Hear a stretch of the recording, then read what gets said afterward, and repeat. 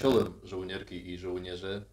E, Obecnie jest koniec lutego 2024 roku i warto powiedzieć o pewnym człowieku wspaniałym i niesamowitym, który był urodzony w lutym, tylko w końcu XIX wieku. Jak obiecał polskim generale, ale tak samo białoruskim dowódcy rosyjskim i nawet estonskim. Mowa idzie o generale Stanisławie Bolak-Bolachowiczu. Zaś ten człowiek jest właśnie dobrym przykładem i symbolem tej solidarności Wielkiego Księstwa Litewskiego i kresowiaka polskiego ostatnich lat. A w ostatnich wiekach e, mamy trochę inny broń, inne geopolityczne początki, ale to samo miejsce na mapie. Rzeczpospolita, Polska, ale w tym też Białoruś, e, ziemie Ukrainy, Litwy, nawet zachodnio-rosyjskie, takie jak Smoleńsk albo. Leżą tam, gdzie leżeli, tylko należą do innych państw. Mieszkają tam inni ludzie, mówią czasami w innym języku, ale gdzie niegdzie co nieco zostało jeszcze z pamięci przodków. Więc Stanisław Polak-Bolachowicz był pochodzenia polsko-białoruskiego. Ja jednak przychylny tej teorii, że on był bardzo Białorusinem, chociaż niektórzy Polacy mówią, że był bardzo Polakiem. Jego mama była z rodu szafranek, którzy mogli być Polakami i byli katolikami, natomiast Bolachowicz, jego ojciec, e, Nikodim Bolachowicz, to był typowy Białorusin, którego e, historiografia sowiecka, radziecka określali jako chłopskiego pochodzenia, ale byli oni drobną szlachtą, byli oni szlachtą biedną, e, być może nawet nie byli wysoko wykształceni, jednak szlacheckie pochodzenie mieli. Pracowali oni jako administratorzy na majątki innych szlachciców, gdzie było nazwisko Plater. To są również ludzie tak samo z korzeniami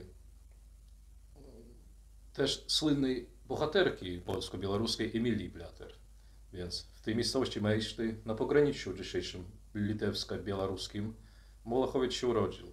Podczas wojny, I wojny światowej 1914 roku zaczęła jego kariera wojskowego. Bo gdyby wojny nie było, na pewno o tym człowieku byśmy się nie znali. On miał tak samo brata Józefa, który również był z nim często w walkach. Był ten inny brat i siostra. Siostra natomiast mieszkała w ogóle w Gruzji potem. A Bolachowicz wchłynął się, pochłoniło jego ta wojna domowa rosyjska, wojna też rosyjsko-niemiecka, czyli pierwsza wojna światowa, a dalej wojna polska-bolszewicka i wojna za niepodległą, niezawisłą Białoruś, co trwało 20 roku. Zacznijmy od tego, że Bolachowicz brał udział w pułku Punina, to ulański pułk, inaczej mówiąc kawaleria, że tam byli ludzie z polskimi korzeniami, z polską tradycją wojskową, e, którzy służyli po stronie Rosji. E, też są, różnili się od rejtarów, różnili się od pruskiej szkoły wojskowej. Oni mieli czynność i mieli też przychylność e, uruchamiać szybkie rajdy, szybkie napady kawaleryjskie i czasami w tych miejscach, gdzie byli niespodziewani, gdzie przeciwnik by nie czekał na nich. Więc on się wysłużył do majora, prawie później do pułkownika i miał kilka ran, z wyniku czego przed przewrotem bolszewickim, przed rewolucją bolszewicką, październikową, on się okazał w szpitalu w Petersburgu. I automatycznie go przyjęli do komandanta oddziałów czerwonych. To chodzi nie o to, że on całym sercem przyszedł na stronę bolszewików, a tylko został dalej po tej stronie, niby rosyjskiej. I na początku tam żadnych programów chyba jego nie interesowali. On zaczął zbierać wojsko swoje i swoich żołnierów w obwodzie pskowskim, mianowicie w miejscowości Gdow i na południe pskowskiej wody i dzisiejszych e, północno-wschodnich terytoriach Białorusi, a nawet Litwy. To był Daugavpils cały czas niedaleko od niego. I w jego oddziale byli już wtedy Białorusiny, ludzie z polskimi korzeniami, ale na pewno było więcej jeszcze Rosjan. I już przychodzili Lotyszy, Estończycy, całe te narodowości bałtyckie, bo co ciekawe, Lotyszy byli wśród czerwonych i wśród nieczerwonych, więc e, szybko przeszedł na stronę Wojska Białego, ale to byli oddziały Wandama, takiego białego generała i tam byli oficerowie, którzy sobie jako biali nie określali, tylko chcieli zachować swoją przynależność wojskową. W większości nie byli imperialistami rosyjskimi, czyli oni mocno różnili się od Judenicza, który potem był na północno-wschodnim e, korpusie i różnili się nawodniki od Kalczaka. To byli tacy bardziej antan, antancowcy, tak? Jakby, no, byli bliscy do Antanci, do idei republikańskich wtedy. Nie oznacza, że od razu socjalistycznych, jakby dzisiaj powiedzieli, ale idei republiki, idei parlamentaryzmu, że już do cariata nie wracamy, tym bardziej, że cariach nie żyje, ale też e, przeciwnicy bolszewików i niektórych innych zielonych oddziałów. Więc e, Balachowicz wtedy wojował przeciwko mm, bolszewików i przeciwko bandytyzmu zwykłego, który na tych ziemiach się rozpowszechniał. I dużo ciekawego można o tym powiedzieć, a to raczej jest tematyka rosyjska, bo w Pskowie Balachowicz był w e, kwietniu, maju 19 roku i tam miał swoje wystąpienia, to był rząd Iwanowa, bo wtedy na resztkach Imperium Rosyjskiego powstawało nie tylko kilka państw niezależnych, a powstawali ponad 200 autonomicznych terytoriów, że każdy z każdym walczył, każdy, każdy sobie ogłaszał jako kraj, jako państwo, jako podmiot polityczny, jako subjekt niezależny. I Psków był tą terytorium, które też próbowało swoje wojsko zebrać, ale e, oni współpracowali wtedy z Estończykami i Latyszami, nie czerwonymi Latyszami bolszewickimi, a niepodległymi Latyszami, które też wtedy powstawali, i Estończykami Lajdoniera. Wtedy Balachowicz z nim jakoś się dogadał i z Lajdonierem dalej walczyli z bolszewikami na tych terytoriach. Z drugiej strony byli też powstania E, Awolo Woberta, który był biało-niemiecki, tak, no, coś takiego, coś takim można określić mianownikiem jego, bo był jeden z wojsk niby białych, a niby szwedzkich, ale zbierał sobie Niemców bałtyckich i miał też tam konflikty z Lotyszami, konflikty z innymi białymi e, Rosjanami i Bermontowałow tam walczył, a oddziały Lajdoniera też mieli z Niemcami szczelaniny. Każdy każdego zabił wtedy. To była wojna domowa, był wielki chaos. No, najciekawsze, że Balachowicz wtedy śmiał teorię białoruską i chyba swoje pochodzenie podkreślał, nie, nie omijał tego i na konferencjach w Rydze w jesienią 19 roku, nawet sierpnia, byli spotkania już z przedstawicielami Józefa Pilsudskiego. Istnieje teoria, że on widział Pilsudskiego na żywo, na pewno on na, spotkał go później, ale delegacja białoruska, białoruskich eserów, białoruskich nawet nacjonalistów, do których dołączył Balachowicz jak białoruski człowiek, który nie był oficjalnie w tych partiach. I oni mieli wtedy spotkania i doszli do teorii, że trzeba już dołączyć tutaj nie do rosyjskich powstańców, nawet antybolszewickich, a do polskich, żeby Rzeczpospolita znowu się odnawiała. I te teorie, inflanty to tak samo byli kresy.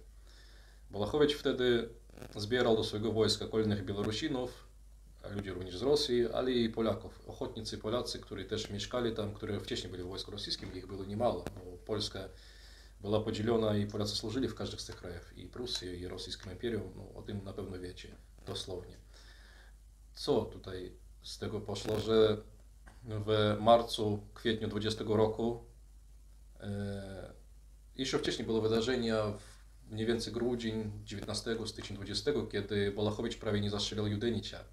Judenicz chciał go aresztować. Judenicz był carskim białym generałem. Bolachowicz uważał za anarchista i buntownika i za polską agenturę. Tak? To w Rosji z tych czasów nic się nie zmieniło, ale trochę prawdy w tym było. Bolachowicza można było uznać za polskiego agenta, agenta polskiego wpływu. I w Estonii u nich był konflikt e, taki zbrojny, który dzisiaj by jak bandyterka wy, wyglądał, ale w tych realiach, w tych rzeczywistości tych czasów to było po prostu starcie dwóch wojskowych między sobą.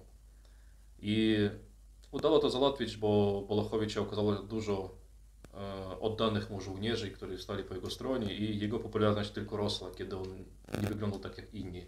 Wśród białych oficerów jego zwolennikiem był na przykład Pieremikin, ale nawet Pieremikin później poszedł swoim szlakiem, swoją drogą.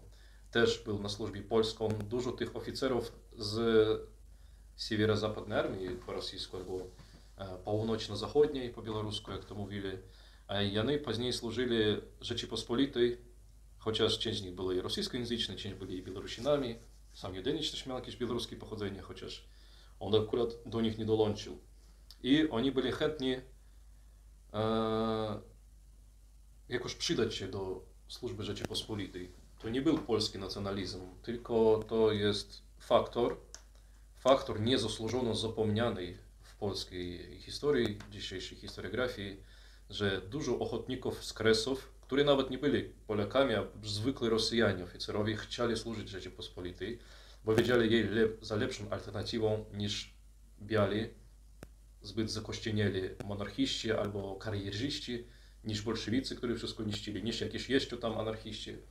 I oni chcieli służyć państwu słowiańskiemu, które było blisko mentalnie, które dla nich im Rosję przypominało i również oddziały kazaci służyli wtedy. Jakow Lewaj, rostowskie kozaki służyli wojsku polskim.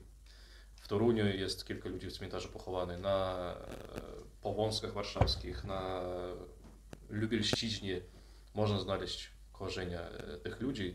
Większość z nich to umarło, na pewno zostawili swoje dzieci, ale to jest spolonizowali się później. No ale wrócimy do Balachowicza. Tak, na ten dzień, na czas obecny, to w 20 roku on miał udział też w wojnie polsko-bolszewickiej i pod, miał dobry rejd pod Pińsk, duże miasto na Białorusi, które już wtedy było duże, było e, zabrane w ręki Balachowców, ale oni byli już wtedy wojskiem polskim. Czyli oficjalnie to był generał Wojska Polskiego z białoruskimi i rosyjskimi oddziałami, ale lecz później, w październiku 20 roku, oni sobie sformowali własne wojsko, coś podobnego jak rosyjskie Wagnerowcy, tylko po stronie polskiej.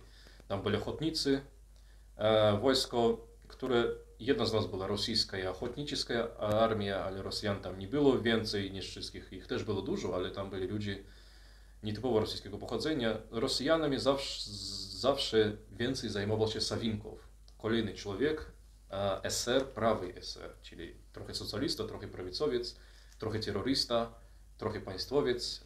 Sawinkow, który sam uczestniczył w zamachach na żandarmerię carską, sam był przeciwko buntu, tak samo jak lewej strony w czerwcu, tak i później przeciwko Kiereńskiego, czyli człowiek bardzo ciekawy też i warto w Polsce czytać o takich ludziach, o takich trzeciej sile, czwartej sile w Rosji bo tam dużo różnych kierunków politycznych zawsze było. I Balachowicz jako awanturnik, ale człowiek wspaniały i odważny, przed Szawinkowa, przed Sawinkowa dogadał się z Pilsudskim, żeby też polskich ochotników jemu wydali, bo Polacy chcieli służyć jego wojsku, on był swoim. Też był między innymi szlachcicem, o czym wspomniałem ja na początku. I doszło do ciekawego, nietuzinkowego rajdu na terytorium Białorusi w listopadzie 20 roku. Czyli za jeden miesiąc oni tam doszli prawie do Gomeli. Oni byli w Rečicy, w Mozyru, w Pińsku, w wielu innych miastach. Część tego wojska była na północy Ukrainy i tam był taki ataman Iskra, który im służył, białorusko-polskiego pochodzenia. To w ogóle jest oddzielny temat, to Polszczucy. Oni też służyli w jego wojsku.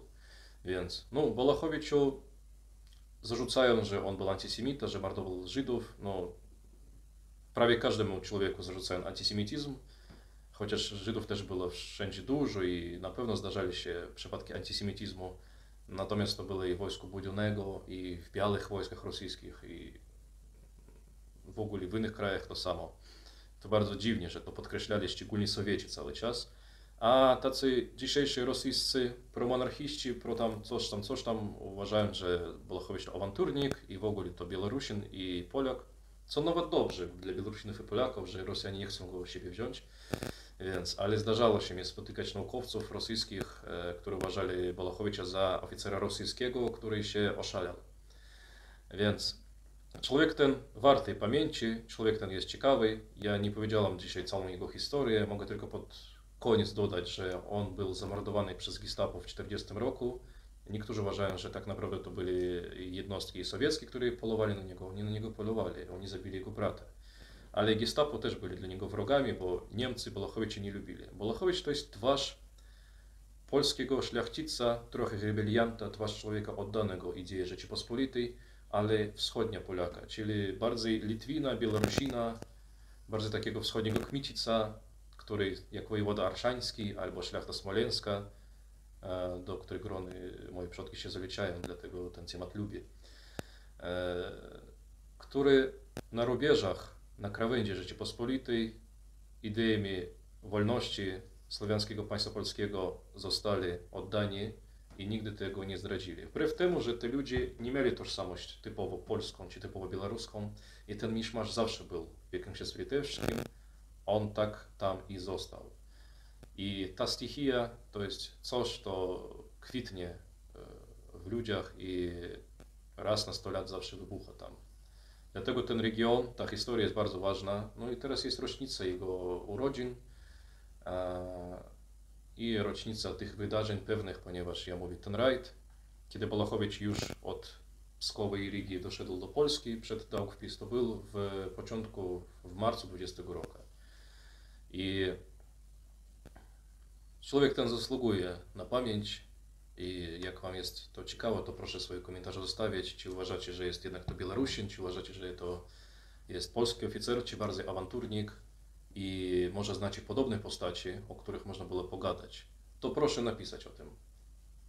Dziękuję i czołem.